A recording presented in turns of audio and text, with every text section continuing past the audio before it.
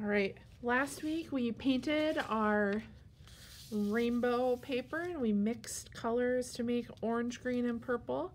Today we're gonna turn these into scoops of ice cream. So first, using our scissors, we're gonna cut each rectangle. So um, you can see where the like the fold line is. If you flip it over, you can just cut where it's folded. So I can go ahead and do that. Or if it's easier to see the colors and just cut at the edge of like yellow and green and then move over and cut where it turns blue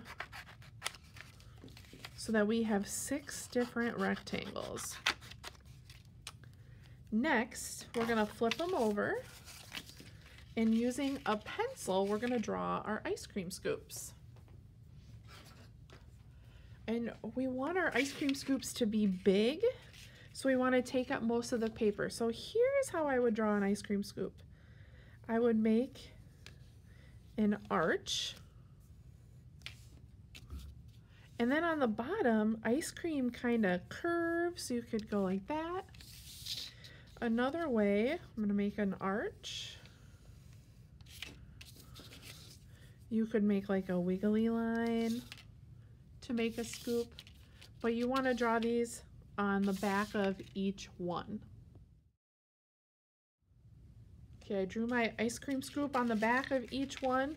Your next job is using your scissors to go ahead and cut out each of those scoops, okay?